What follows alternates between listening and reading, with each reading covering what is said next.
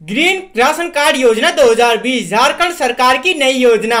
में मिलेगा एक रुपये किलो की दर से गेहूँ और चावल। हमारा वीडियो अच्छा लगता है तो हमारे वीडियो को लाइक करें, कमेंट करें और इस तीर के निशान से हमारी वीडियो को शेयर करें। व्हाट्सएप और फेसबुक सभी जगह। और हमारी लेटेस्ट वीडियो जुड़ने के लिए हमारे चैनल को सब्सक्राइब करें और इस बेल आइकन को ज़रूर दबाएँ। ग्रीन राशन कार्ड, गरीबों के लिए सरकार की नई स्कीम। अब एक रुपये किलो में मिलेगा अनाज। हेलो दोस्तों, आप सभी का स्वागत है हमारे YouTube channel D K two news में। नई दिल्ली, वैसे तो पूरे देश में one nation, one ration card के तहत लोगों को अनाज बांटा जा रहा है, मगर गरीब तबके के लोगों को राशन लेने में सहूलियत हो, इसके लिए सरकार ने नए नियम बनाए हैं। अब देश भर के विभिन्न राज्यों में उनके लिए ग्रीन राशन कार्ड तैयार किए जा रहे हैं। इसके ज़रिए एक रुपए प्रति किलो की दर से अनाज ले सकेंगे। मोदी सरकार के निर्देश पर कई राज्य सरकारों ने नए राशन कार्ड बनाने पर ज़ोर दिया है। इस योजना को इस साल के आखिरी में या 2021 की शुरुआत में पूर्ण रूप से लागू कर दिया जाएगा। राष्ट्रीय खाद्य सुरक्षा अधिनियम के तहत अब तक राशन कार्ड की सुविधा से वंचित गरीब श्रेणी के परिवार के लोगों को इसमें जोड़ा जाएगा।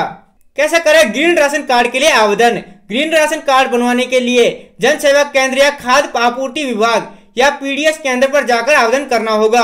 आप चाहे तो ऑनलाइन आवेदन भी कर सकते हैं। इसके लिए आपका आधार कार्ड, मोबाइल नंबर और बैंक खाते की डिटेल, आवासीय और वोटर कार्ड आईडी आदि दिखानी होगी। यह योजना राज्य सरकार की ओर से चलाई जा रही है। योजना का लाभ सिर्फ़ बीपीएल कार्ड धारक को ही मिलेगा। एक रुपये प्रति किलो की दर से मिलेगा अनाज। इसमें एक रुपये में उन्हें अनाज मुहैया कराया जाएगा। ग्रीन राशन कार्ड के ज़रिए गरीब परिवार के लोगों को प्रति व्यक्ति पाँच किलो अनाज दिया जाएगा। ग्रीन राशन कार्ड धारक को इसके लिए नए सिरे से आवेदन करना होगा। झारखंड सरकार इस योजना को आगामी 15 नवंबर से लागू करने जा रही है।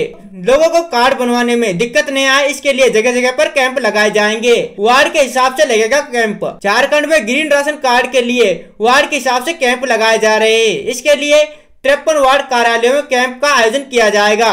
झारखंड राज्य खाद्य सुरक्षा योजना के तहत रांची ज़िले में एक पॉइंट बत्तीस लाख लाभुकों को इस योजना के तहत जोड़ा जाना है। कैंप में आवेदन करने वाले लोगों को केवल अपना पहचान पत्र, आईडी प्रूफ के तौर पर ले जाना होगा। जिनके पास कोई पहचान पत्र नहीं है, वो भी कैंप में जाकर संपर्क कर सकते हैं। राज्य सरकारों द्वारा राष्ट्रीय खाद्य सुरक्षा अधिनियम के तहत अब तक लाभ से वंचित गरीब परिवारों को हरा कार्ड के ज़रिए राशन उपलब्ध कराया जाएगा।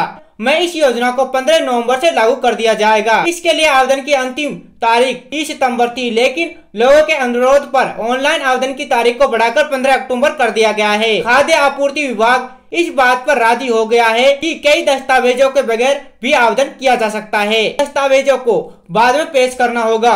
झारखंड में ये बात उठी थी कि गाँव में रहने वाले लोग या गरीब परिवार के लोग तय डेडलाइन तक कई आवश्यक दस्तावेज़ प्राप्त नहीं कर पाएँगे। इसके चलते डेडलाइन आगे बढ़ाई गई है। इस मांग को स्वीकार कर लिया गया है। राज्य के 24 में से सोलह जिलों में 30 सितंबर तक की डेडलाइन में कोई आवेदन नहीं मिला था। विभाग को बताया गया कि जाति प्रमाण पत्र और पति का मृत्यु प्रमाण पत्र हासिल करने में परेशानी आ रही है।